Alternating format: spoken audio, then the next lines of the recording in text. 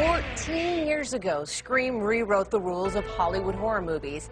Today, the killing continues with Neve Campbell and her castmates back for more chills and thrills and Scream 4.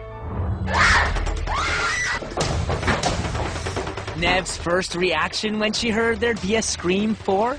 No. that was my first reaction. I got to a place where I realized it might just be fun. I think there's a lot of fans out there who are very excited about it, and I thought it would be fun to see Courteney and David and Wes again, and so I got excited.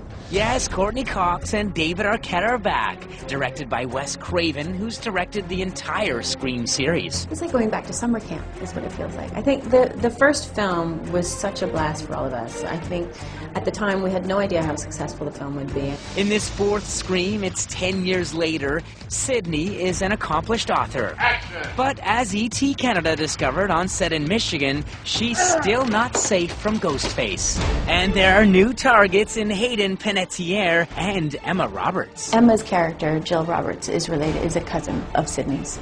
Um, which is fun because Sidney doesn't have a lot of family left or friends.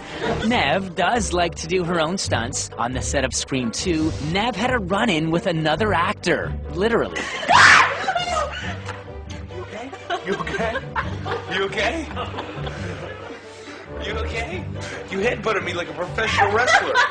On this film, which is due out next April, it was a run-in of a different sort. So I had an entire day of fighting fight sequences yesterday, and then bashed my head on my computer screen, which is really great.